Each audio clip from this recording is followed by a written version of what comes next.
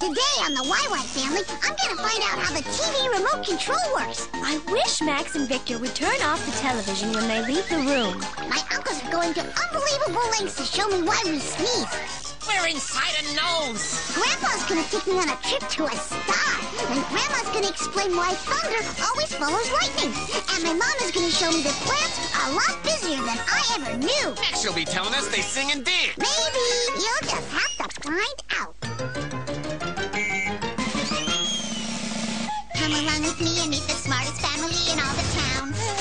Family. Mom can make it plain to see that what goes up eventually comes down. The family. Come and meet the family.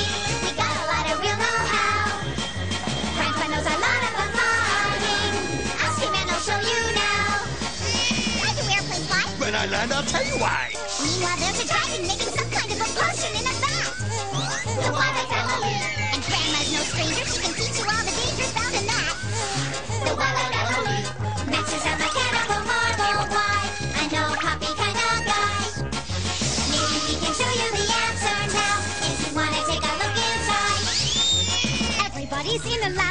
wondering what's the matter. Every person hears a cry. He rushes to the baby side. What's the deal? What could it be? Just ask the Why Why family. Why?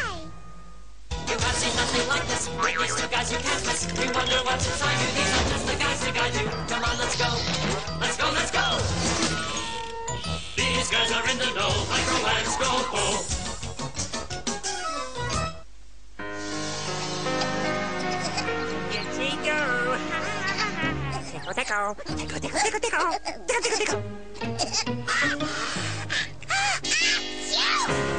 I'm coming, Victor.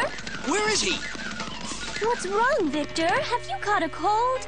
Now, now, no need for all this. A sneeze doesn't necessarily mean we've caught a cold. It doesn't? Then why do we sneeze, Uncle Micro? It's just a reflex. You know, something your body does automatically. It is? Now cut that out! Anyway, Victor, we sneeze anytime something tickles the inside of our nose. Wow! Are we gonna travel to the inside of a nose to check it out? Yeah, maybe later. Uh, Right now, my favorite opera is on, starring my favorite opera singer, Lucretia Vondrack. Wait, Micro, that's not the remote control. It's the gizmo. Wow, there's something you don't see every day. A forest inside a cave. Forest? Cave?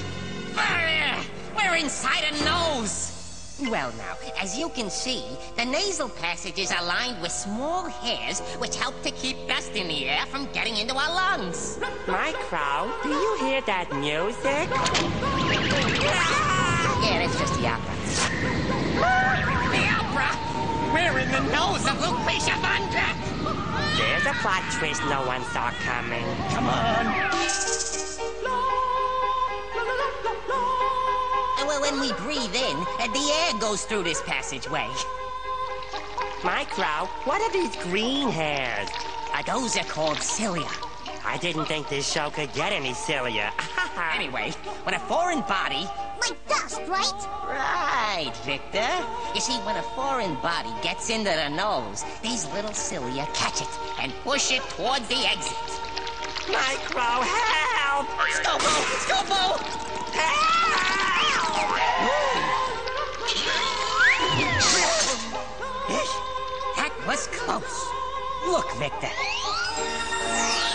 represent foreign bodies in the nasal cavity. Why, if the nose detects a foreign body, it notifies the brain immediately. The brain could cause us a lot of trouble, Scopo, Mine always does. because the brain sends back the signal that triggers a sneeze. Oh, Micro, I think the foreign bodies are us. I, I do believe you're right.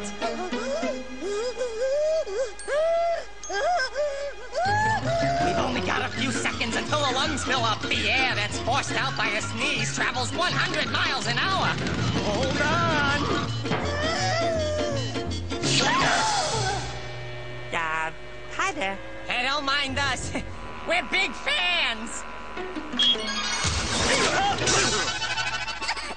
That was great, Uncle Micro! Do it again! Do it again!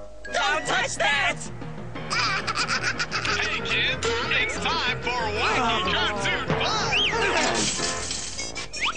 Gee, it's think they'd never changed the channel before.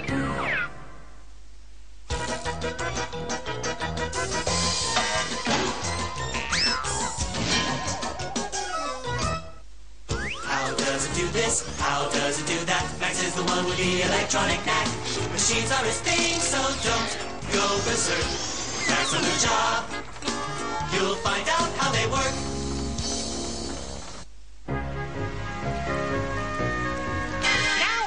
to laugh with Laffo the Clown. Today he's The Egyptian dung beetle, making his weary way home after. getting a pie in the face. I want to watch Laffo the Clown. Lifestyles of the Egyptian dung beetle is educational.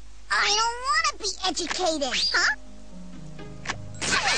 Oh, what the? Ah, Oh, do you mind? I didn't know the remote control could do that. The remote control isn't going to do much of anything if you two wear out the batteries by pushing the channel changer button all the time.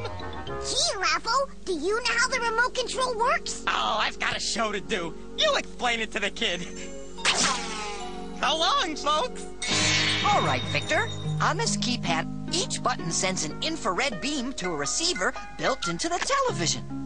No, I don't see any beam. That's because our eyes can't see infrared light unless you wear special glasses.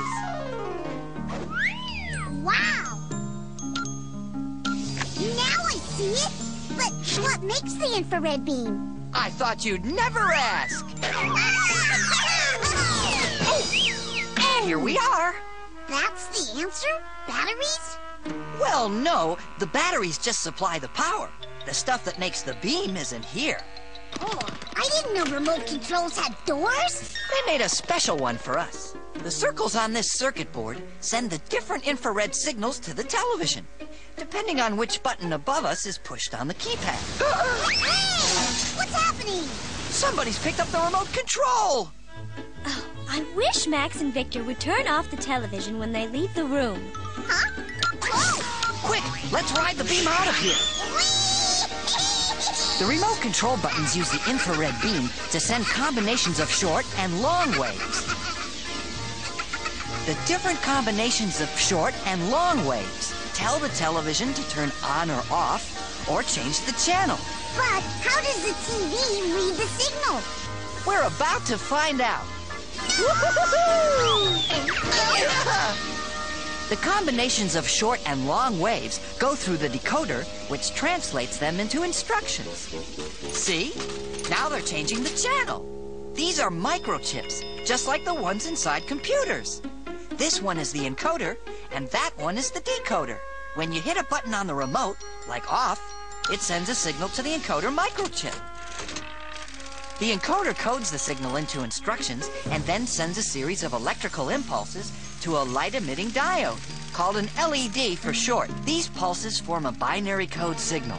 Ones and zeros. Right.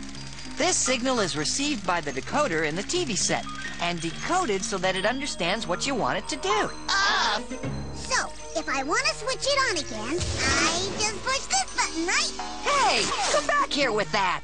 Are you two at it again? So, uh, what do you want to watch? Eh, nothing. It's too nice a day to be inside watching TV.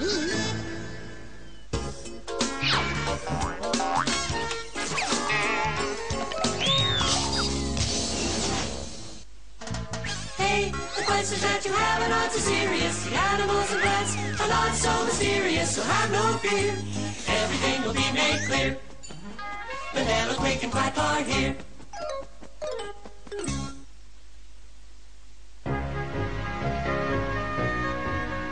Doing, Victor? Nothing much. I'm just looking at the plants. They don't seem to do very much. Well, what do you expect from a bunch of plants? About as much as we expect from you. Eh, I'm just so you. Actually, plants are very busy. What are they doing? They're generating new cells to make them grow. They're using sunlight to help them make food. They're breathing. Plants breathe? All living things breathe. But how do plants breathe? Alrighty, let's start with the lungs. Breathe in. Deeper. Good. Mhm. That's not how plants breathe. They don't have lungs. Look here. Where? I can't see a thing. Look closer, Quack. See those little holes there? Plants breathe through them.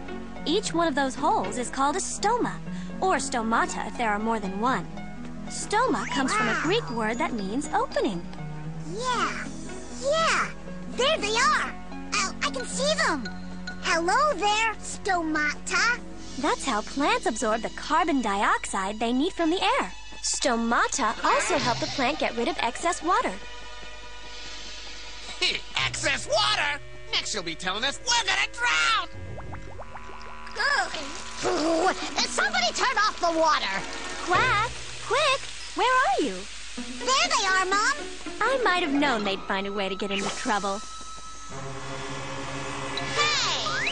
Look, when the air becomes very dry, the stomata close.